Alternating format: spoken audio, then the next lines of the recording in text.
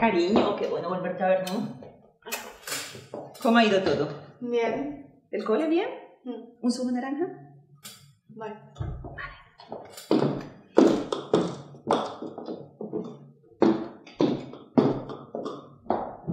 ¿Qué tal? Eh, me apetece más el de manzana. Pero si es natural, Pero quiero el manzana. ecológico, tiene nutrientes, tiene más vitamina C. Pero me apetece más el de. Ok, no pasa nada.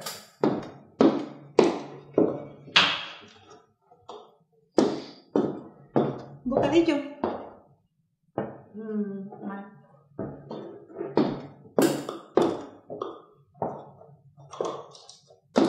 Mira, cariño, bocadillo y también café.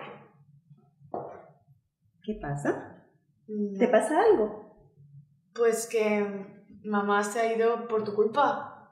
¿Que tu mamá se ha ido por mi culpa? ¿De qué estamos hablando? Pues de mis padres. A ver, yo con tu padre estoy, estoy casada con tu padre y no me vengas que tu madre se separó con tu padre por mi culpa. Pues que es la verdad. No es la verdad, tú sabes que no es la verdad. ¿Y tú cómo sabes que no es la verdad? No es la verdad. Y ahora me vas a decir qué significa esto.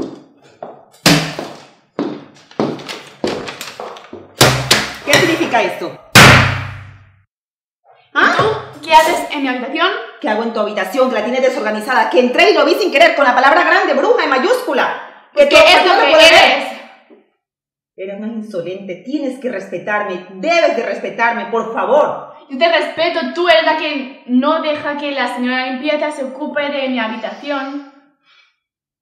A ver, eh, Paula, eh, eso se está saliendo de las manos. Tenemos que hablar con tu padre porque tú no puedes ir colocando cosas que no son, escribiendo cosas que no son y tratándome como te da la gana.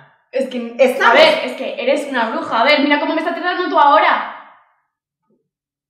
Paula, eh, calmémonos, que somos personas inteligentes y eso lo vamos a llevar de la mejor forma. ¿Vale?